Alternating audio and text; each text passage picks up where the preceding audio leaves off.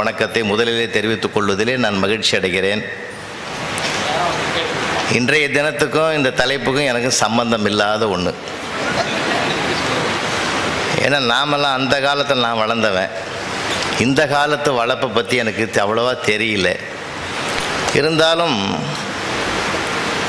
இந்திய தேசத்தில் இருக்கக்கூடிய இளைஞர்களுக்கு சரியான பாதை எது என்று கூட தீர்மானிக்கிற ஒரு நிலை தடுமாற்றம் இருக்கிற காரணத்தினால் யாரையெல்லாம் மனதிலே நினைத்து அவர்கள் மீது அன்பு செலுத்த வேண்டும் நேசிக்க வேண்டும் சுவாசிக்க வேண்டும் என்பதை பற்றி சில கருத்துரைகளை எடுத்துரைப்பதற்காகத்தான் நான் வந்திருக்கிறேன்.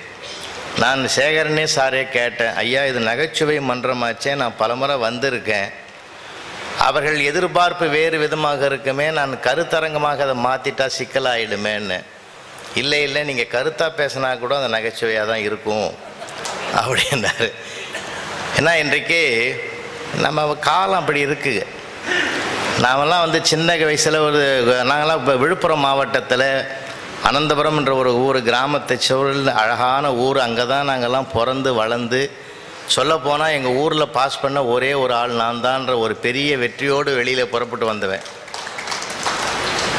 அப்படிலாம் இருந்த ஒரு அழகான ஊரில் நம்ம விளையாடின விளையாட்டு இரவு பெய்த மழையிலே ஈர மண்ணை காலையிலே எடுத்து தேங்காய் தெருவி போட்ட ஓட்டிலே அடைத்து இட்லி வடிவத்தில் அதை கொண்டு வந்து தழைகளையெல்லாம் பறித்து கீரை பக்கத்தில் வைப்பதாக ஒரு விளையாட்டையெல்லாம் மேற்கொண்டு விளையாடிய விளையாட்டுகளெல்லாம் இன்றைக்கு கற்பனை உலகத்திற்கு கூட எட்டாத தூரத்துக்கு சென்றுவிட்ட ஒரு அவலத்தில் இன்றைக்கு இளைய குழந்தைகள் இருக்கிறார்கள்.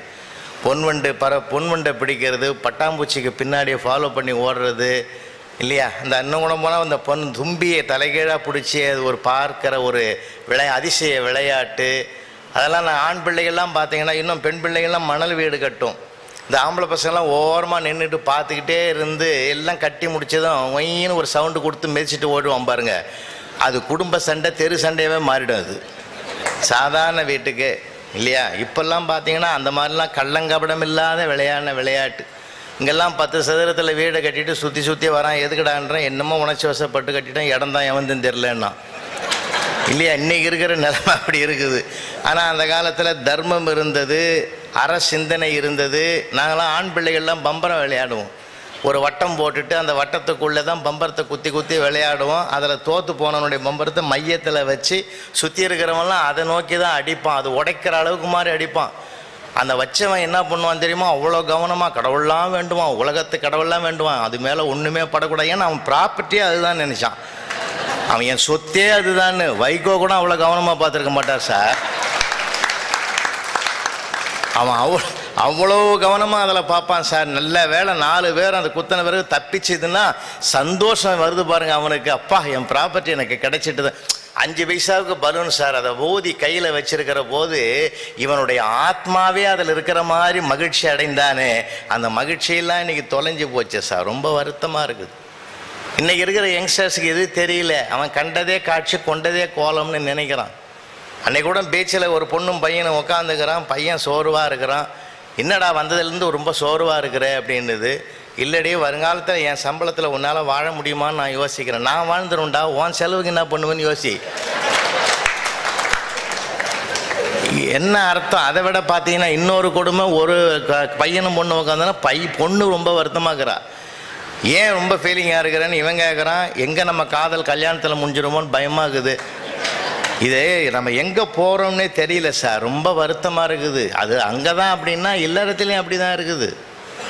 நீங்கள் இந்த அவையெல்லாம் பார்க்குற போது எனக்கு ரொம்ப மகிழ்ச்சியாக இருக்குது. இவ்வளோ ஒரு சென்னையில் இல்லை தமிழ்நாட்டிலேயே ஒரு குறிப்பிட்ட நேரத்தில் கூடுகிற ஒரே ஒரு அவை இந்த நகைச்சுவை மன்றம் தான் சார். நான் போகாத இடமில்லை சுத்தாத ஊர் இல்லை. எல்லா இடங்களிலுமே சார். எல்லா இடங்களிலும் பார்க்குற உண்மை. நாங்கள்லாம் போய் ஆரம்பித்த பிறகு தான் ஒன்று ஒன்றா ரெண்டு ரெண்டாக வரும். போகும்போது பதினஞ்சு இருபதாக போயிடும். இந்த ஒரு நாகரிகமான ஒரு அவையை பார்க்கறதுக்குனே தான் நான் வந்தேன். அதை கூட பார்த்தீங்கன்னா நாங்கள் அதையா பட்டிமன்றத்தெல்லாம் பற்றி சொன்னார். இந்த பக்கம் ரெண்டு பேர் இந்த பக்கம் ரெண்டு பேர் நாலு பேரோட நான் ஒரு கூட்டணியோடு போயிருக்கிறேன். ஆரம்பிக்கிறேன் நல்ல பசங்கள்லாம் உட்காந்து கேட்குது ஒரு அம்மா அங்கேருந்து ஓடியாந்து ஒரு அவன் பிள்ளைய போட்டு சாத் சாத்துன்னு சாத்துது. இந்த மாதிரி இடத்துக்கெல்லாம் வருவியாடா? இந்த மாதிரி இடத்துக்கெல்லாம் வருவியாடா? நாலு பேர் நாலு விதமாக பேசுவான். அது உனக்கு தேவையாடான்னு போட்டு வச்சு வாங்கு வாங்கன்னு வாங்குதான் ஏன் எதிரிக்கே? ஏமான்றேன் நீ சுமாரியா உன் வேலை நீ செஞ்சுட்டு போகிற அந்த பையன் கட்டுப்பிடுவான். வேணாம்? ஏத்து ஏத்து பேசுவியா? அப்படின்னு சொல்லி இந்த மாதிரி ஒரு நிலைமைகள் எல்லாம் இன்றைக்கி பல இடங்களில் நாங்கள் பார்க்குறோம். நான் மகாபாரத சொற்பொழிவு பண்ணுறோம் பத்து நாள் ராமாயண சொற்பொழிவு பண்ணுறவன் பன்னீர் திருமுறை கந்தபுராணம் தான் பேசுகிற ஆள். மகாபாரதம் சொற்பொழிவு பண்ணுறேன் சார் ஒரு அம்மா தாங்க மாமியாரை அழகாக கையை பிடிச்சி அழிச்சின்னு வருது. நானும் தொடர்ந்து அஞ்சு நாளாக பார்க்குறேன். யாருமா உங்கள் அம்மாவான்னு? இல்லை சார் மாமியார். பரவாயில்லம்மா இந்த நாட்டில் இப்படி ஒரு மருமக இருக்கிறது நான் முத முத பார்க்குறேம்மா. அட நீ வேற ஒன்றையா மகாபாரதம்னா நான் உட்சரே விட்டுருவேன்னு சொன்னாங்க அவங்க.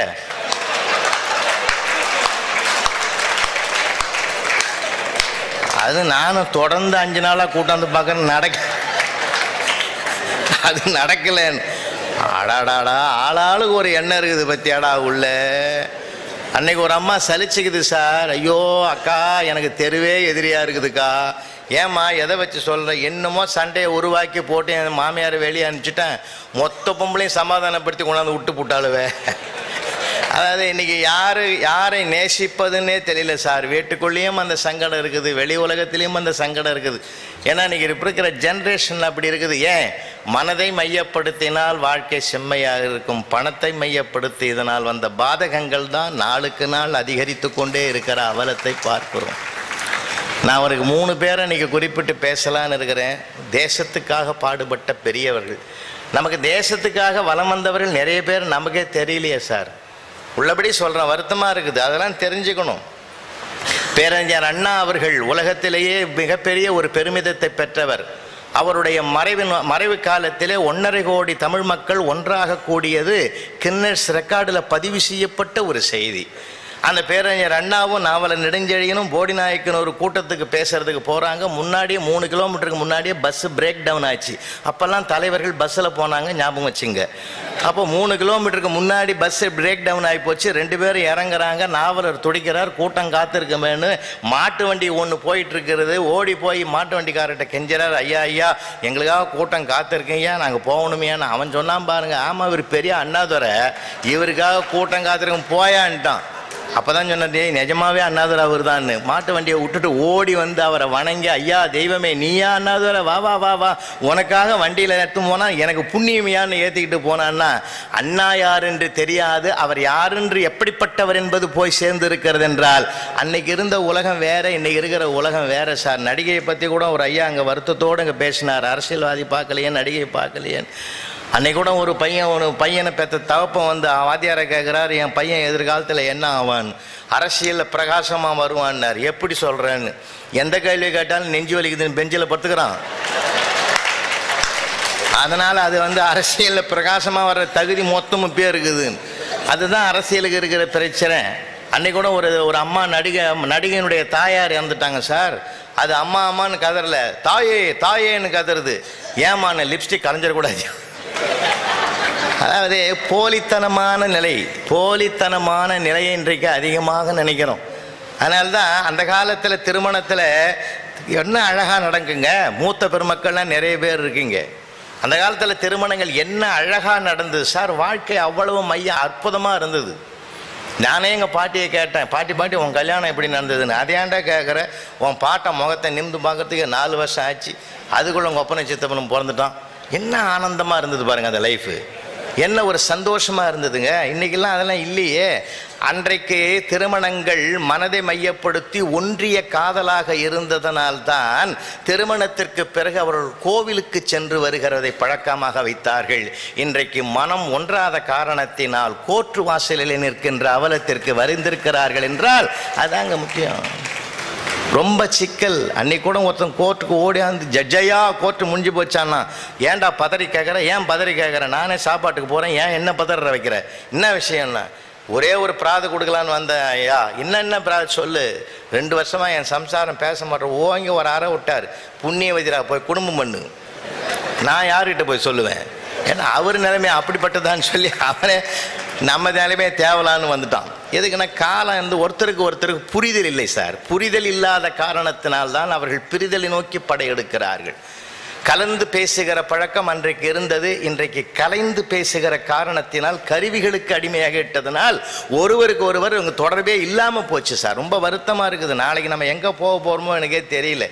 நான் அண்மையிலே பல மேடைகளிலே சொல்வது உண்டு. டெலிஃபோனோட கூட நம்ம இருந்திருக்கலாம். செல்ஃபோனுக்கு போகாமலே கூட இருந்திருக்கலாம்.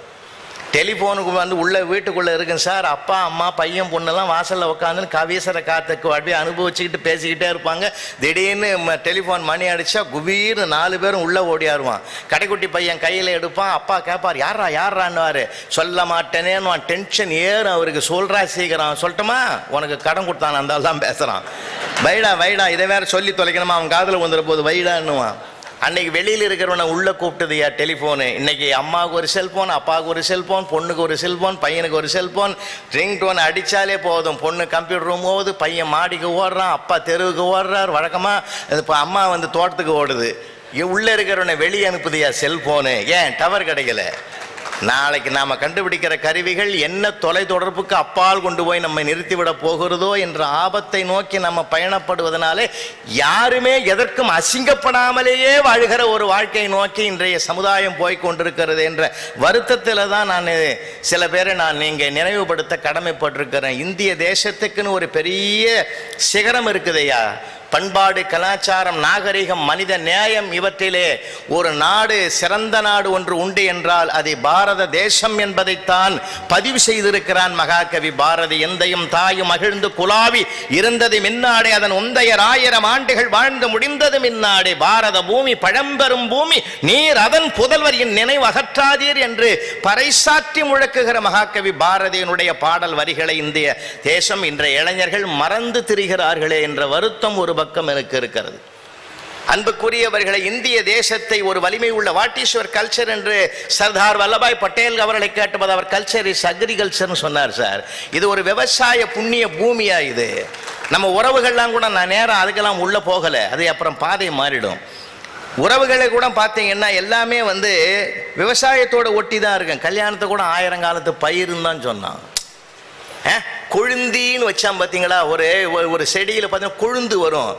கொழுந்தனாருன்னு வச்சா என்ன அதெல்லாமே பார்த்தீங்கன்னா அந்த அந்த விவசாய தொடர்போடு உடையது தான். அதனால தான் பெண்ணை கூட நாத்துன்னு சொன்னான். விட்ட இடத்துல நாத்து இருந்தால் பிரயோஜனப்படாது.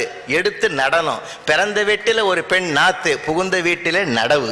என்ன அழகான வச்சிருக்கான் சார். உள்ளே போனீங்கன்னா எங்கேயோ நம்ம கல்ச்சர் இருக்கும். நம்ம எல்லாத்தையுமே யாருக்கும் எதுவும் தெரியறதில்லை இப்போ. எல்லாத்தையும் பார்த்தோம்னா அது வேக விதமாக போயிடும். ரெண்டு மூணு தலைவர்களை பற்றி இங்கே நினைவுபடுத்தலான்னு நான் ஆசைப்படுறேன். உலகத்தையே ஒரு வழிகாட்டுகிற மிகப்பெரிய மகாத்மாவை பெற்ற பூமி இந்த பூமி.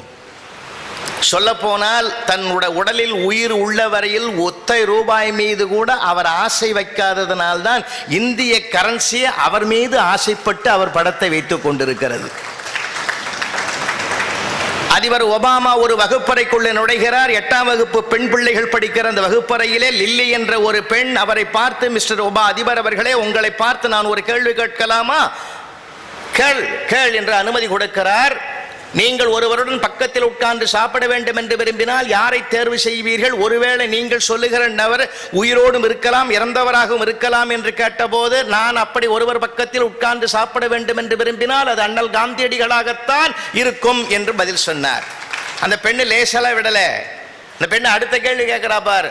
உயிரோடு இருப்பவர்களை யாரையாவது நீங்கள் தேர்வு செய்திருந்தால் அந்த நேசக்கரத்தை நீட்டுகிறார் ஒபாமா என்று கருதி அந்த நட்பு அந்த நாடும் நட்பாகி இருக்கும். அதை விட்டுவிட்டு எப்பொழுதோ மறைந்து போன ஒரு தலைவரை நீ நினைவுபடுத்துவதற்கு என்ன காரணம் என்று கேட்டபோது ஒபாமா பதில் சொன்னார் அண்ணல் காந்தியடிகள் தென்னாப்பிரிக்காவில் கால் வைக்கவில்லை என்றால் இந்த ஒபாமா வெள்ளை மாளிகையில் கால் வைத்திருக்க வாய்ப்பு கிடைத்திருக்காரு. அந்த நன்றி உணர்வை வெளிப்படுத்துவதற்குத்தான் என்று சொன்னார் என்றால் இந்திய மண்ணில் மனிதனாக பிறந்தவர் மகாத்மாவாக ஆனார் இந்திய தேசத்தை பொறுத்தவரையில். ஒபாமாவின் அறிக்கைக்கு பிறகு அவர் உலக உத்தமராக உயர்ந்து நிற்கிறார் என்றால் என் இந்திய தேசத்து இளைஞர்களே நீ யாரை காதலிக்க வேண்டும் என்ற முதல் வரிசையிலே முதலிடத்தில் இருப்பவர் என்னை பொறுத்தவரையில் ஒரு மகாத்மா காந்தியாகத்தான் இருக்க வேண்டும் என்று நான் கருதுகிறேன். காரணம் அப்பொழுதுதான் உனக்கு சகிப்புத்தன்மை நேர்மை சத்தியம் இவையெல்லாம். ஏன்னா இப்ப நீ இருக்கிற காலம் எப்படிப்பட்ட காலம்?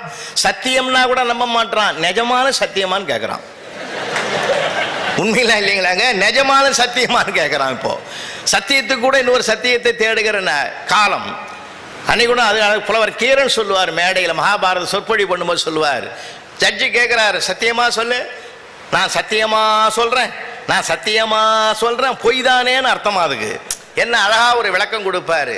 அது கூட பார்த்தீங்கன்னா குற்றவாளி கூண்டில் நிற்கிறான் குற்றவாளி வக்கீல் கேட்கிறார் பார்த்த கொலையை இல்லைன்றதுக்கு நீ அஞ்சு லட்சம் ரூபாய் பிரிக்க வச்சு வாங்கினியா வாங்கினியா வாங்கினியான்னு மூணு தடவை கத்தி கேட்கிறாரு வக்கீல். அவன் கம்முன்னு நிற்கிறான் ஜட்ஜுக்கு கோவம் வந்து காது கிழிய கேட்கிறான் வக்கீல். பதில் சொல்லாம நிக்கிறியே. சாமி என்னைய கேட்டார் நான் உன்னை கேட்டார் நினைச்சுங்கிறேன் நான்.